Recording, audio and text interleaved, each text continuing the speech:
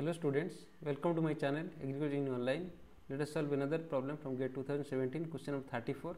A cylindrical parabolic solar collector is designed to heat a fluid that enters the absorber at 140 degree Celsius at a flow rate of 5 kg per minute.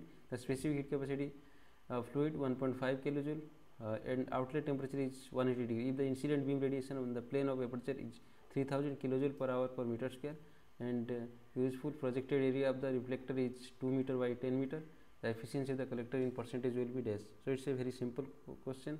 Let us quickly go to the solution. First of all this is a uh, parabolic solar collector and it is cylindrical. So here actually the area is given that is uh, 2 into 2 meter. Let it this one is 2 meter. This is 2 meter and this is 10 meter. So 10 by 2 area. So here actually if falling then this is the fluid is moving this way and it's heated up up to from 1 140 degree celsius to 180 degree celsius. It's a heated the water is heated and uh, uh, let us find out the useful heat that is useful heat per minute. So since the uh, that should be equal to del t the change in temperature into mass flow rate into Cp in this case.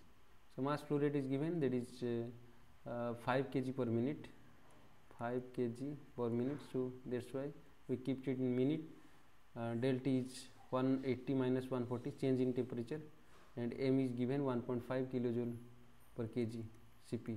Cp is given 1.5 kilojoule per kg per degree centigrade. So, here actually coming to this the useful heat will be equal to let it uh, 180 minus 140 into m is 5 into 1.5 that will be equal to 300 kilojoule per minute. So this is the useful heat uh, per minute. Now coming to the incident heat uh, due to the radiation. So incident heat per minute you can say that will be equal to area of the collector or effective area in this case into incident beam radiation per minute. So here uh, the incident beam radiation is given that is uh, 3000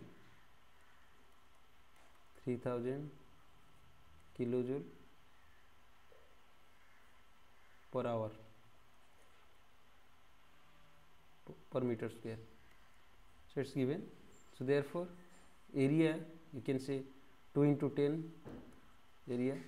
So therefore putting this the incident heat will be equal to 2 into 10 into 3000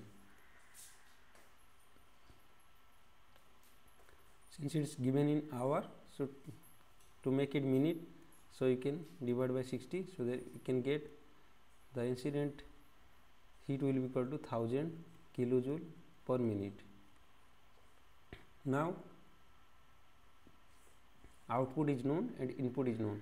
So therefore the efficiency collector efficiency is very straightforward. So useful heat that incident heat into 100 that will be equal to 300 divided 1000 into 100 that will be equal to 30 percent. So answer will be 30 percent for, for this question. Hope you understand. Please like and subscribe to my channel